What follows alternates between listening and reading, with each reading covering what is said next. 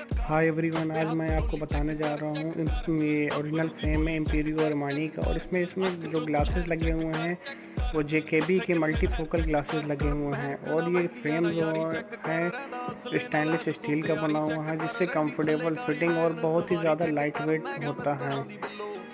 अब हम आपकी इसकी प्राइस के बारे में बताएँगे। ये ग्यारह हज़ार नौ सौ नब्बे रुपये का केवल एम्पीरियो और मानी का ओरिजिनल फ्रेम फ्रेम है। उसके बाद multifocal glasses digital glasses J K V उनतीस सौ पचास से स्टार्ट हो जाते हैं। ये देखिए, आप देख पा रहे होंगे ग्यारह हज़ार नौ सौ नब्बे रुपये का फ्रेम फ्रेम है। और ये फिटिंग एकदम कंफर्टेबल है और एकदम कस्टमाइज ये ग्लासेस बनते हैं। आँखों का सेंटेशन लेके फिर ये ग्लासेस बनाए जाते हैं।